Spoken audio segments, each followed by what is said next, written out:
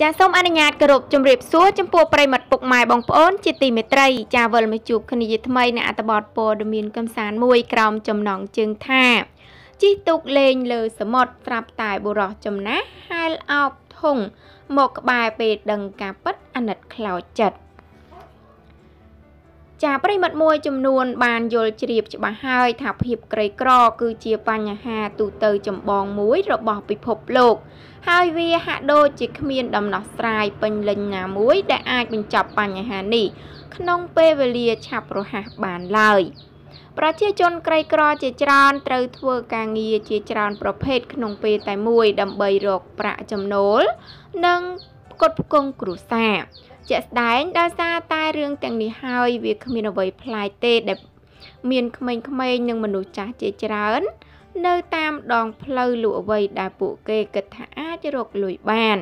ប៉ុន្តែតើអ្នកធ្លាប់បានឃើញនរណាម្នាក់លក់ការ៉េមនៅកណ្ដាលសមុទ្រទេ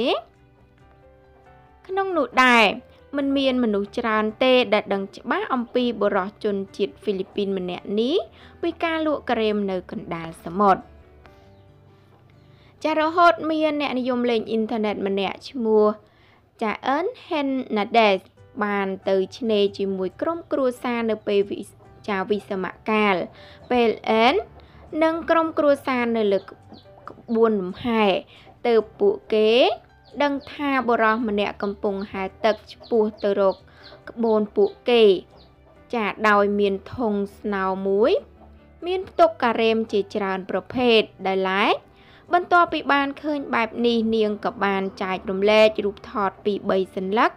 របស់បុរសចំណាស់លក់ការ៉េមនៅលើបណ្ដាញសង្គមនាង ការបង្ហោះនោះត្រូវបានផ្សព្វផ្សាយពីពេញអ៊ីនធឺណិតត្រឹមពេលដ៏ខ្លីហើយមានមហាជនជាច្រើនបានកោតសរសើរ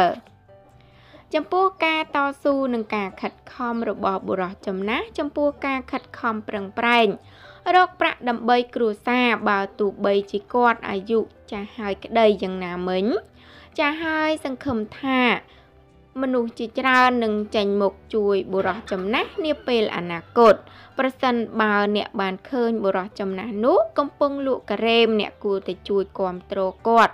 ដោយការទិញការ៉េមមួយចំនួនពីគាត់ការហែទឹកសណ្ដោងធុងការ៉េមទៅលក់លើសមុទ្រដ៏កម្រឃើញបែបនេះទើបឲ្យគេចែករំលែកអមជាមួយក្តីអាណិតយ៉ាងច្រើន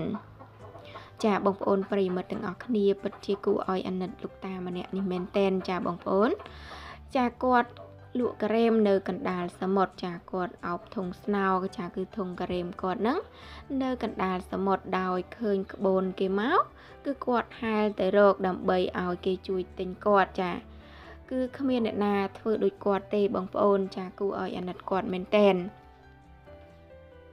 ចាអញ្ចឹងតកតងនឹងអត្ថបទព័ត៌មានដែលបានជម្រាបជូនបងប្អូននៅពេលនេះក៏សូមបញ្ចប់តែត្រឹមប៉ុណ្ណឹងចាសូមអរគុណរាល់ការតាមដានស្ដាប់និងទស្សនារបស់ប្រិមិត្តពុកម៉ែបងប្អូនផងដែរចាជាចុងបញ្ចប់សូមបងប្អូនជួយចុច Subscribe និងសញ្ញារូបកណ្ដឹង ដើម្បីទទួលបានព័ត៌មានថ្មីៗជារៀងរាល់ថ្ងៃពី Channel នាងខ្ញុំផងដែរចាសូមអរគុណសូមគោរពលា